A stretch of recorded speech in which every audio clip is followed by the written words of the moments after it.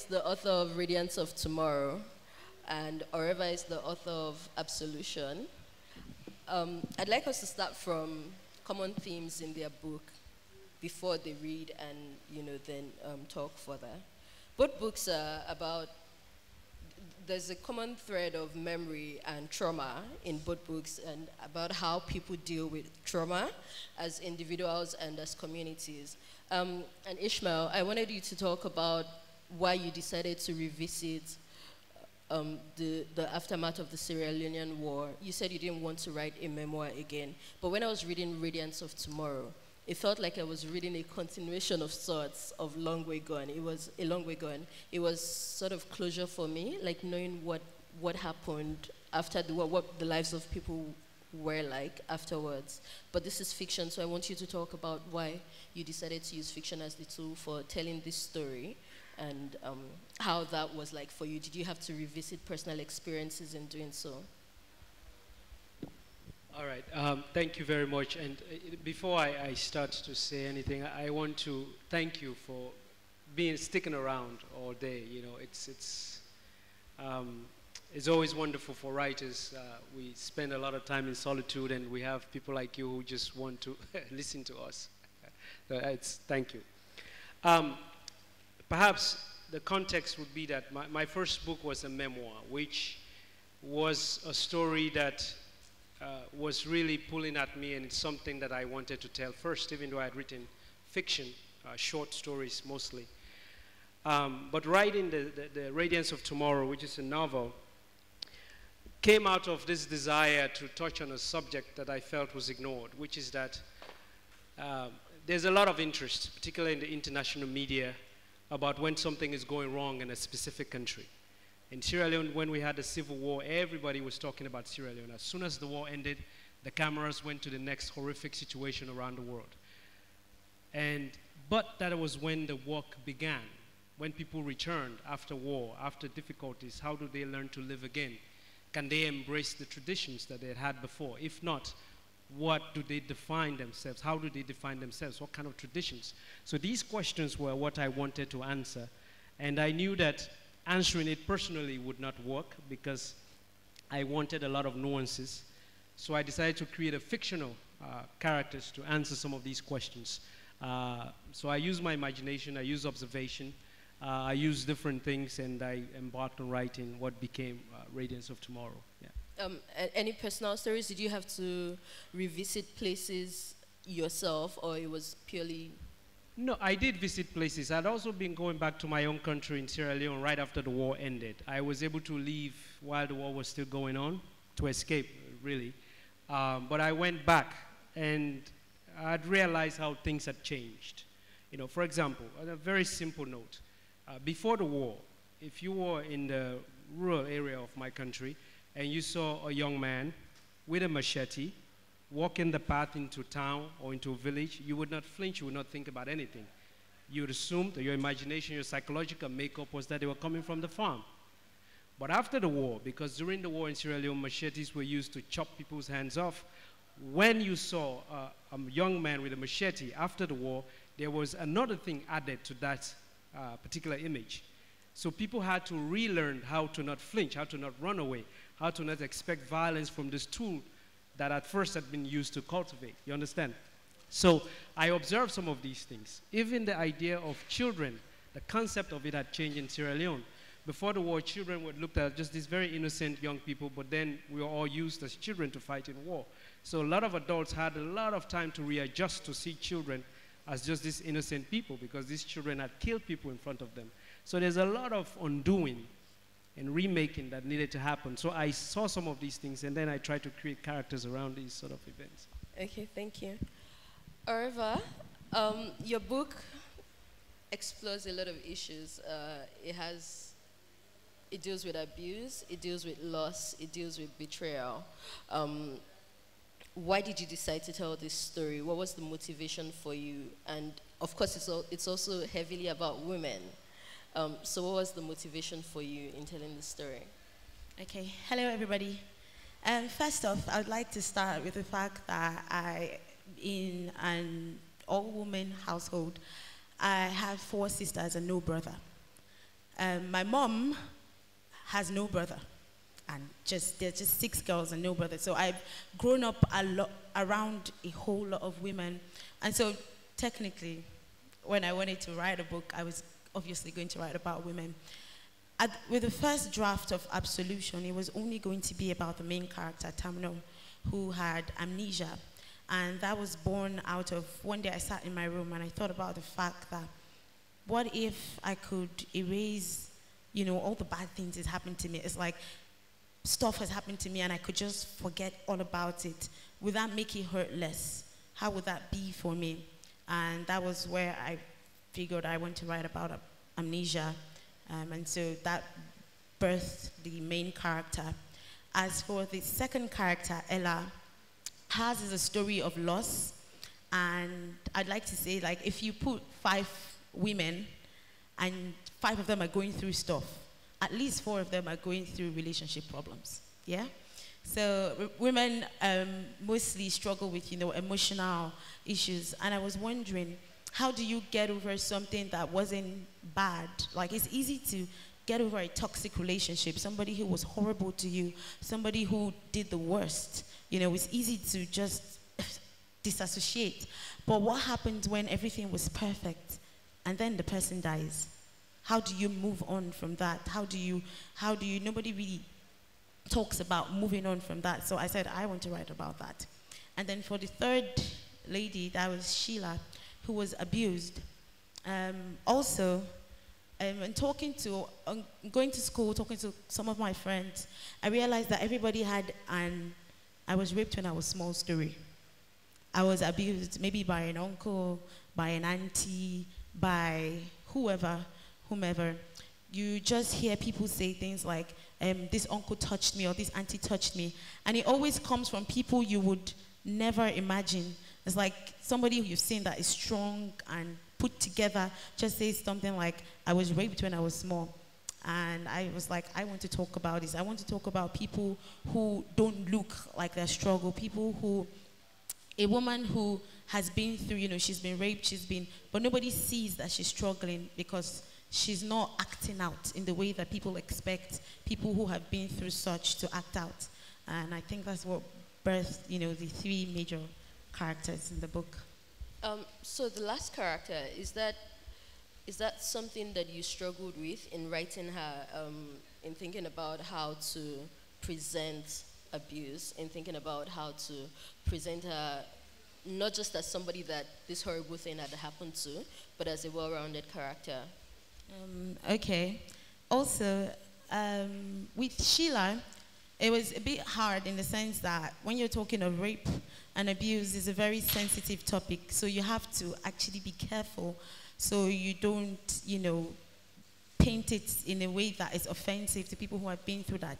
At the same time, I was somebody who grew up with pedestals. Like, I started reading newspapers when I was three. I started, you know, I was that child that was in everything. And so nobody really expected me to struggle. Nobody expected me to. Um, I remember one time in secondary school, I said to my friend, like, man, I'm going through this. And she was like, ah, if you're going through something, what happens to the rest of us?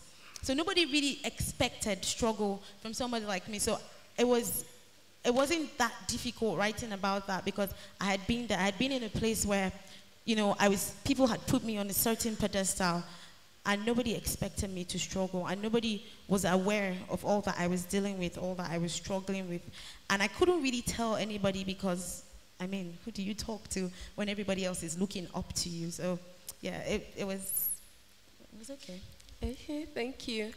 Um, now we'll take short readings from both Ishmael and Oreva. Um, Ishmael, we'll, sta- we'll start with you and then we'll talk more about the books. Okay. Um, the context, brief context here is that uh, the, the, characters in this book are all returning to a town after the war, and they are rebuilding the town by even starting to clean up the bones of the people who had been killed and all the rest of it. So I'm just going to introduce you to uh, a little bit of that struggle to, to find uh, life in a place that uh, where life had been destroyed quite some time. There was a time when the days in Imperi were longer and marked by elaborate conversations, tales, visiting friends and family, lying in hammocks under the shade and welcoming strangers with a calabash of cold water, going to the river for a swim or to watch children play diving games. Aspects of this life were there, but without the previous enthusiasm. Perhaps it was because a large part of the population was unsure what to expect out of their lives. They had gotten used to the fragility of things, but they knew they wanted something different from the elders, something new, though they didn't know exactly what or how to set about attaining this new life in their current condition. The simplicity that had once been life had become a burden, especially when it seemed everyone waited for something to do. In the silence of that waiting, memories of war were awakened, bringing restlessness and irritability. People didn't spend much time on their verandas anymore. Besides the farming that had started on a very small scale just for people to feed their families, everyone just sat around afraid to find pleasure in most things. Only incidents brought them together and reminded them of the need to mend themselves and their community. The day after his arrival, Bakari decided to show the town to Thomas and Umu. The twins held the long hands of their father as they ventured into the realities of stories he had told them. His quiet demeanor and even his strides were calmer than his children, whose impatience made him laugh, a slow, drawn out laughter that made others smile. Umu and Thomas greeted people, the few who sat on verandas, the way their father had told them about how things used to be. Good morning. Was sleep generous to you and your family? Has the world greeted you kindly this morning? The children repeated to everyone they encountered. Most of the people ignored them and went inside their homes because these questions reminded them either of the families they no longer had or of the fact that the world was still cruel to them, and they wanted to forget just a bit before facing the day. Some of the people laughed because they knew these old words didn't belong to the children who spoke them. Father, how come they do not respond the way you had told us? Is it because we are small and they don't know us from before? Umu asked. No, children, it is because it isn't because you are small. They will answer better with time. I am sure they will, Bakari said slightly ponderously, as he wasn't sure when this would happen. The children didn't give up, and the next person they greeted was Sila, who was standing under the stoop of his veranda, looking at the sky and breathing in the morning air with a vigor that made the children laugh. When they greeted him, he responded in detail about how he and his children were and how they had slept, and he asked the same questions to Bakari.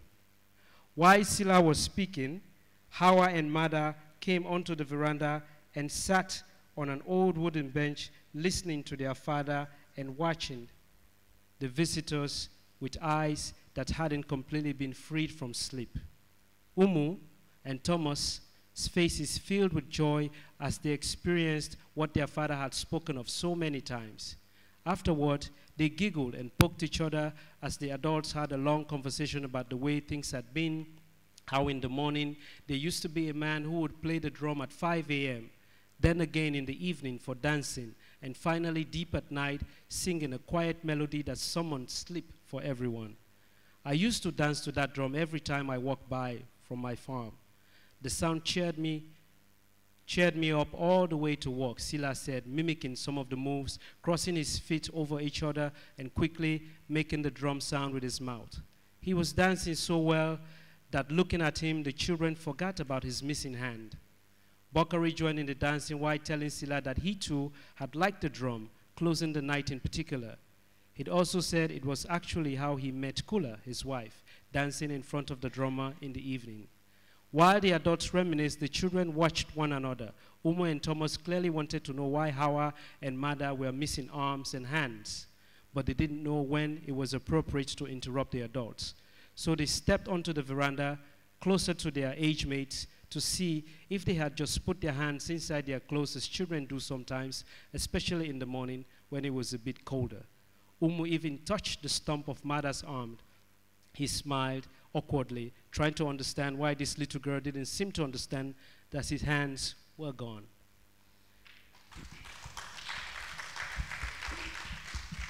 Thank you. Oreva? Okay, so brief context before I read. I will be reading the concluding parts of chapter 6 and a little into chapter 7. Now, what's happening here is the main character, whose name is Tamino, has suffered retrograde amnesia and she's now trying to find her pattern of life, trying to figure out who she was, who she is, who are her friends, trying to reconnect with her daughter, you know, and just trying to find her way. For the tenth time in the same minute, Tamno glanced at the clock on the wall. She couldn't sit still. They were supposed to be back by now. Why was it taking so much time? She had arranged the table with small plates of cookies, cake, and every other goodies that she could find. She even went out to get some ice cream and clear her head, yet they weren't back. How far was the place? She spent the rest of the time rehearsing all she was going to say. Before she knew it, she heard the horn for Michael's car. They were here, finally. Why was she so nervous? This was her kid, her child. Her palms became sweaty and she fidgeted as she tried to decide whether to sit or stand. Or she could go to her room and pretend she wasn't expecting them. She decided against that. That would make it seem like she didn't care enough. Finally, she settled on the couch and waited for what seemed like forever for them to walk through the door. Mommy! Her little girl screamed her name as she ran towards her. One look at the bundle of joy, and Tamna forgot all she had planned to say. The girl was standing in front of her with large, hopeful eyes, waiting for her to say something, but she couldn't. She couldn't say a word. Mustering up all the courage left in her, she said the only word that came to her head Hey, baby. Hi, mommy. I have so much to tell you. I miss you so much. And daddy says you can't see me because you've been in an accident. Is it true? Does it hurt? Tamino could feel tears well up in her eyes. She wouldn't cry. Not here, not now. She had to get herself together for her little girl. Yes, it's true. It hurts a little, but I'll be fine. So, does that mean I can come back to the house for finally? No, honey, but mommy will be coming to see you often. Come here and tell mommy everything. She opened her arms and let the child wiggle her way into her laps as something told, told her this was going to be a lengthy tale. Minutes passed, and Tamno listened with fascination as her daughter told her everything there was to know. She told her about the girl in her class who she thinks doesn't really like her, about her new favorite teacher, about grandma's yummy rice and chicken, about Pam, her teddy, who was sick. The list was endless. She didn't have to say anything. All she had to do was sit there, smile, and enjoy the feel of her child in her arms. She was sorry when the time for Precious to go came. The girl was like a ray of sunshine, so happy and bubbly. She was glad that she listened to Dr. Femi. She had made progress. She still had a lot to learn about her daughter, though what she loved, things that frightened her, and her favorite snack. She was going to learn all of it. Now that meeting her daughter was out of the way, she set her mind on the next task ahead. Chapter 7. On the journey to self discovery, one has to find the right set of people to steer them in the right direction. This was something Tamno had seen in one of those papers that they randomly shared around. She needed to meet new people. That's why she had decided to get dressed and attend the women's meeting Dr. Femi told her about. Tamno looked at the bunch of people in front of her with dismay. She was so lost. She had never seen so many women in one place at the same time before. They all seemed happy. She, on the other hand, well, she didn't know what she was feeling. There were so many people with different attitudes in here. She wondered how they ever got along. In the far end was this woman, all scarred and scraggly. She looked so fierce in her tank top and jeans, like she had no care in the world, chewing her gum with such ferocity that Tamno was so sure she was going to bite her tongue. Then there was another one in front, small, petite, withdrawn, and very beautiful. This one looked too innocent to have any problems. She looked fragile, yes, that was the perfect word. At the other end was a group of women who she assumed were the single moms. They talked and laughed in hushed tones, exchanging glances every once in a while. She could go on and on to identify the different mixes in the crowd, but she was stopped short by the appearance of a woman who seemed to be in charge. She was clearly well along in years, but she carried herself with such grace that one had to wonder if she was really old. She had on a warm smile and greeted everyone graciously till she got to her seat in the front of the crowd. She had everyone's attention. Everybody was relaxed now, like they were all in agreement. There was only one point of focus. She opened her mouth and started to sing a beautiful song about the love and grace of God. Soon everyone joined her. They sang with fulfillment and contentment. Tamna soon found herself longing to be a part of this warm sisterhood. She let her eyes roam around the room. Regardless of their obvious differences and lack of similarities, there was a bond that brought them together in unity. The love in the atmosphere was almost tangible. After the chorus was done, a short prayer was said and the meeting began. Women came out to share. That's what the moment was called, sharing moment. Testimonies, struggles, victories, people said all sorts of things. And Tamno silently wondered how you get so free that you air all of your dirty laundry to total strangers. In the world she lived in, no one cared about your achievement or struggle or whatever. But here it was different. When all the sharing was done, the woman from the beginning, who Tamnon knew now to be Mommy Rebecca, was introduced. She came and addressed the crowd. There were not more than 25 people in that room, but Tamnon felt strangely surrounded and comforted. This woman talked about Jesus and his love. Tamno knew about God and his infinite mercies. In fact, she had been in the church system for quite a while now, but she had never heard it this way.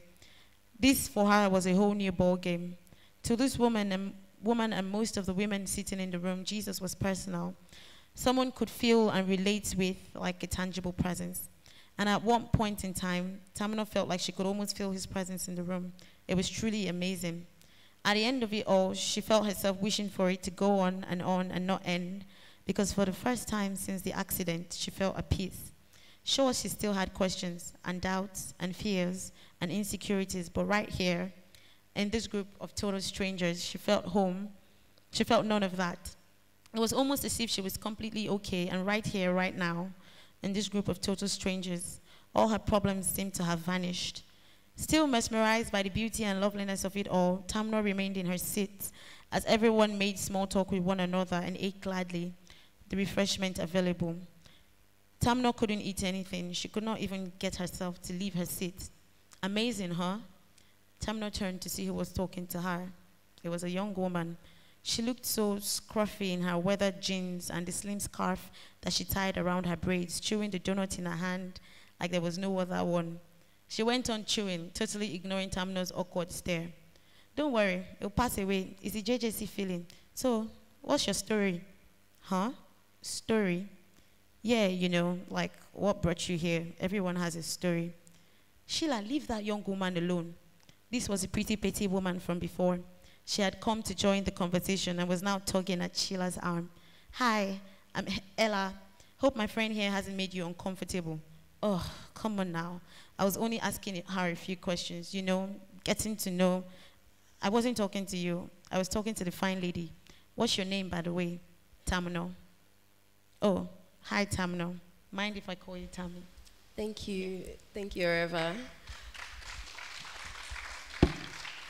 I, I find it really fascinating how um, people are dealing with trauma at the base level, but in different ways. In your book, um, the way that they deal with the memory of loss and the trauma is to go back to the same place where these horrible things happened to them. And for you, your main character forgets, you know, she just forgets everything. She, she loses her memory, and that's how she deals with her trauma. Um, I find that really fascinating. But I wanted to talk about community, in the, the role of community in dealing with trauma. Um, from the section you read, now this community is being rebuilt and children who didn't know how it was but who had heard how it was um, are returning and they find that it's not it's not the, the image the, the reality on ground is not what their parents have told them but everybody in this community is trying to rebuild their community what do you think is is there is trauma to be dealt with collectively? Is, is, is there healing in that? Or is it an individual struggle for everybody? Um, in the narrative, you know, uh, perhaps what I didn't mention earlier is that there are a cast of characters returning into Imperi, which is where the, the narrative, the book is set. And they range from older people, grandmothers, grandfathers, to children who were born uh, right at the end of the war, who do not have any memory of the war. And so those children had been told stories by their parents of how this land used to be good because the parents did not want to remember the bad things. And now they're all coming home, so they have those good memories of this place that does not have, reflect that story anymore. So there are complications because when they ask certain questions from those memories to others, it's going to bring up something for them. So you have that. Now, the way trauma works and how I try to envision it in this thing is that it's both uh, personal and it's also public. Um, because this community had experienced violence together, and people had fled and experienced their own violence personally, and now they're all coming back and try to live together. And there are certain people within the communities who are, have also been responsible for bringing, inflicting the violence on this community. For example, you have some former child soldiers. You even had a boy who followed the family he had amputated uh, back into this community because he's trying to make amends with them. And so you have a lot of complications. So it's the idea of trying to decide where do we go from here? What do we do? Are we going to embark on revenge or the idea of a punitive measure to rebuild this community? Or are we going to embark on a restorative measure? Is there an in between? Uh, do we need to hold certain people responsible? And of course, there's no easy answer to this question. Yes. but uh, therein lies the beauty of fiction. You don't necessarily have to have an answer, you can explore it. Uh, so that's, that's what I try okay, to do. Thank you. Oreva, um, can you talk about safe spaces for women? Because in the section you read, she, she's just met the two women who are going to become her friends and who are going to help her in dealing with what she's going through. So, can you talk about your personal experience of safe spaces and how important they are?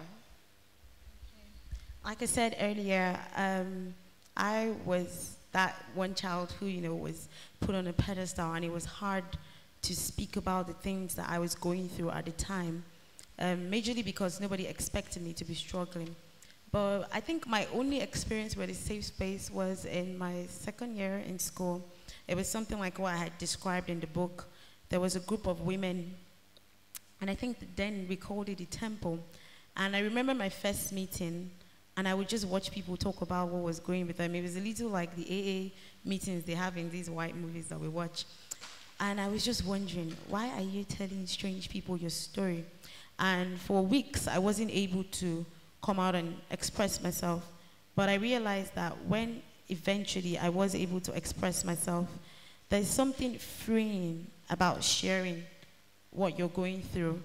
You might not necessarily get a solution in that in that instant. Like you tell somebody, I'm going through this. The person might not have an answer for you, but there's a release in your spirit when you share, when you're able to talk to somebody and you see the person's face and you can tell in that moment, I'm not being judged for this. I am not being, this person has this, I understand. There's something, it's just, there's a kind of healing I cannot really explain that comes from that. And I feel like there's not so much of that around, but because there are people who would snitch and go and use your secrets too. But that being said, when you really find, you know, a safe space, a space where you can go without feeling judged, without being questioned, without being, um, you know, you just feel free. There's a release in your spirit that cannot even be explained.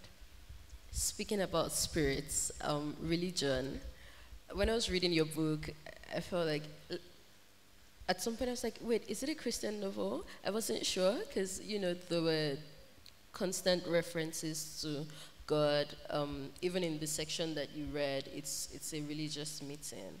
Um, and I wanted to know what, what your thoughts are about religion as, as a tool for healing. Um, okay, so I am Christian, popularly Christian. Um, and when I set out to write Absolution, um, I didn't say, oh, I want to write a Christian book. I just wanted to write a story. But like I always say, it's more than a religion for me, it's a way of life. So definitely there's certain influences um, in my writing. You will hear me reference God every now and then and all of that. Um, that being said, um, religion as a way of healing, I believe, I believe that there's only so much as man that you can do for yourself. There's only so much, um, you know, a person can do for you. Let me give this example. My experience with healing, more than talking to people, more than um, telling people, oh, this is what I went through, um, it was the first person I was able to properly open up to was like, it was easy to pray because I couldn't see him. I couldn't tell if he was judging me or not, so oh well. It was easy to say, um, Dear Jesus, I've done this and this and that, and I'm a really shitty person, but I know that you love me, I know that you accept me. It was easy because I couldn't, there was no way I could tell if I was being judged. And when I finished, there was no thunder striking me dead. There was nothing of that sort. So it was just easy for me. So that, that doing that, I kept on, you know, constant communication.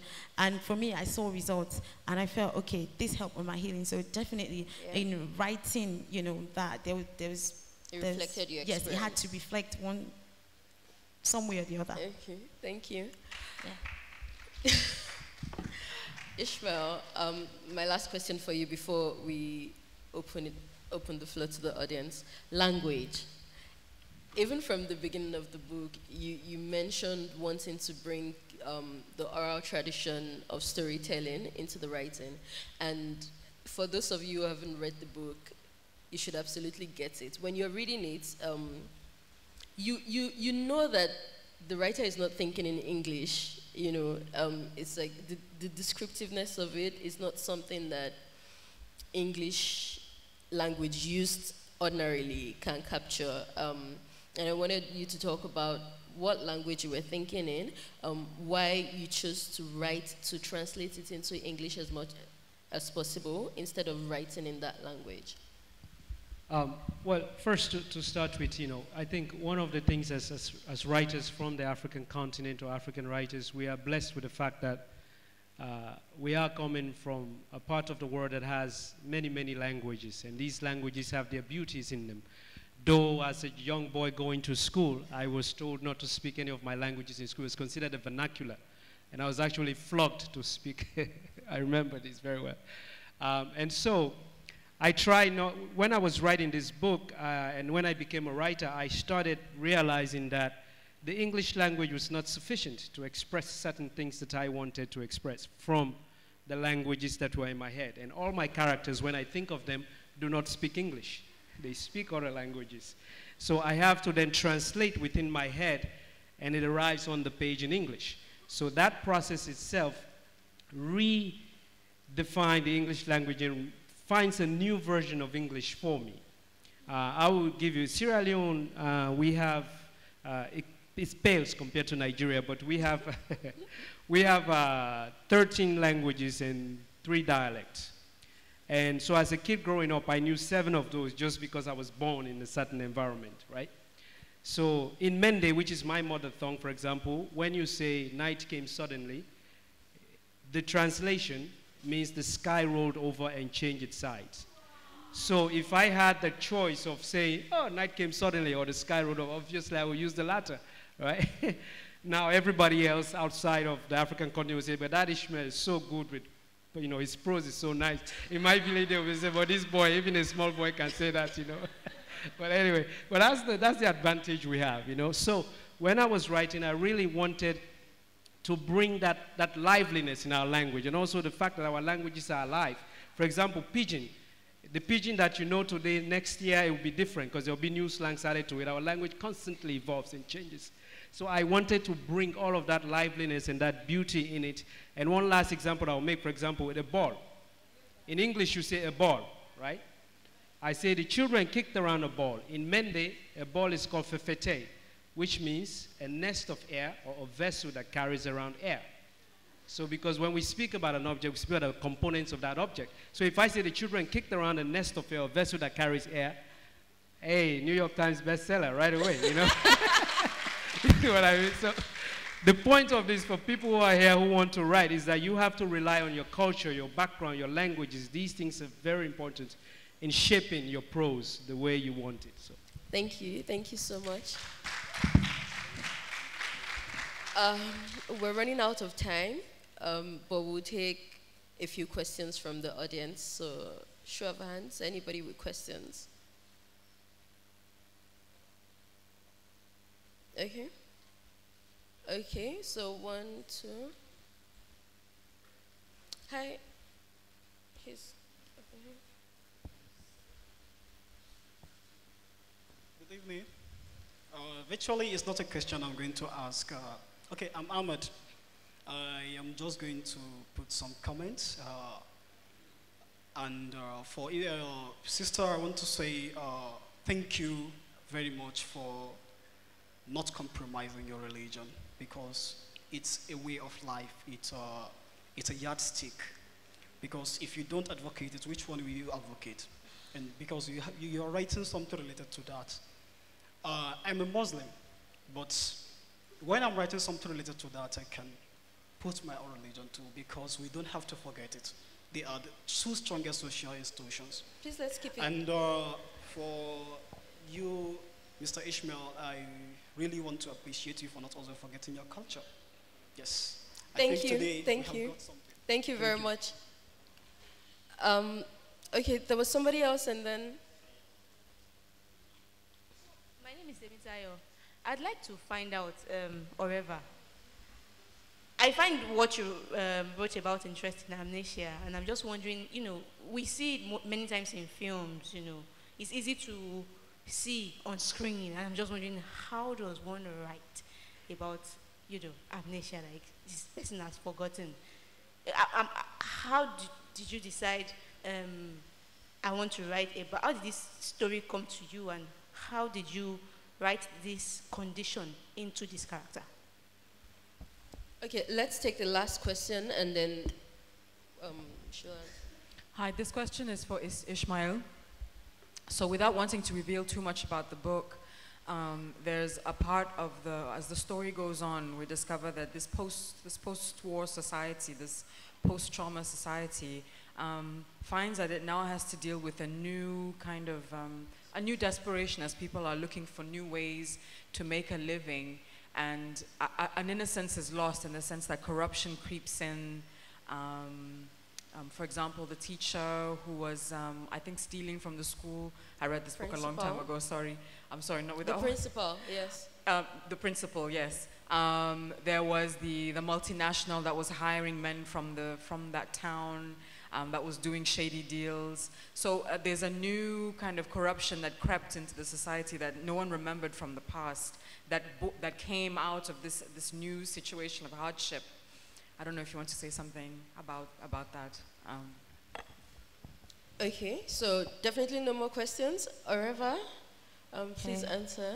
So, writing about amnesia, like I said earlier, um, I decided to write about amnesia because I was thinking, what if I could forget all, you know, the bad things that happened to me? Yes. But in writing about it, funny thing was, I joined a group. I was doing some research, and I did research for close to a year. Um, but I joined a, somewhere in the middle. I joined a, I stumbled on a group of people who had, who have amnesia and are struggling with memory loss. And I don't know why. Maybe okay, of course. I was wondering why they assumed that I had amnesia.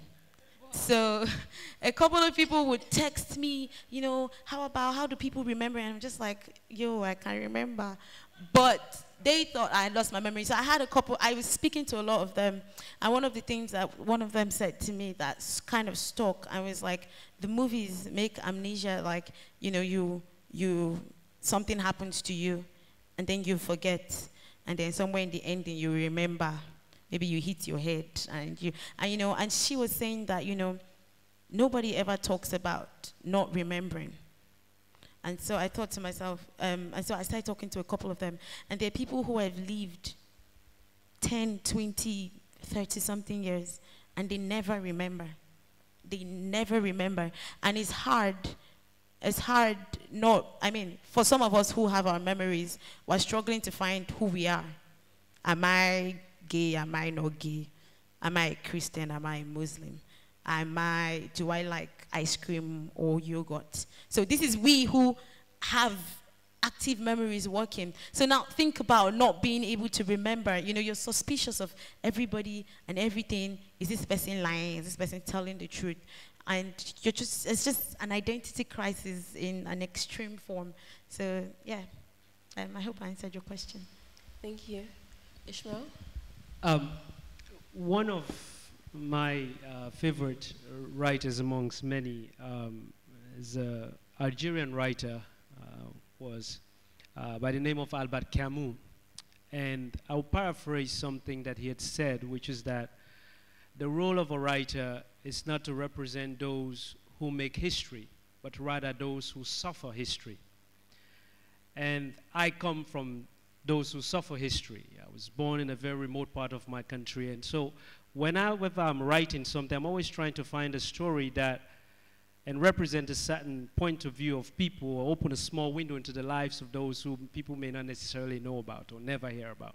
So what you're talking about in this uh, novel that I opened was this idea of desperation that comes about in a post-war environment where people do want to continue on with their lives and then they have to make compromises on their moral and their ethics, even on their religion, to be able to live.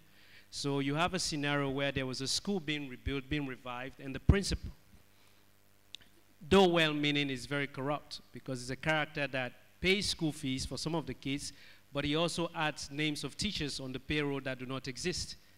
So what do you do with somebody like that? You, he's, he's a necessary evil to some extent. In addition, a mining company comes up in Imperi when the characters have returned that then started destroying the land.